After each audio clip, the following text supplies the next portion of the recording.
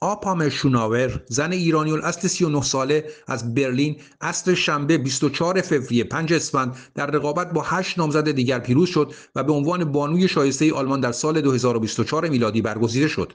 او که در 6 سالگی به آلمان آمده و مادر دو فرزنده است در مراسم بانوی شایسته 2024 تعهد خود را به حقوق زنان محروم و ستم دیده به ویژه زنان ایرانی اعلام کرد. آپام شوناور که تحصیل کرده رشته معماری است و همکنون برنده جایزه 25000 یورویی این رقابت شده در گفتگو با رسانه های آلمانی شعار خود در مواجهه با موانع را اینگونه اعلام کرده فقط ادامه بده تقریبا 100 سال می شود که رقابت های دختر و بانوی شایسته در آلمان برگزار می گردد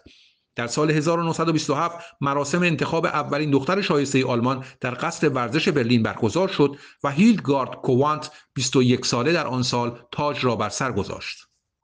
اگر این پست رو دوست داشتید لایک کنید و کانال ما در یوتیوب رو سابسکرایب کنید.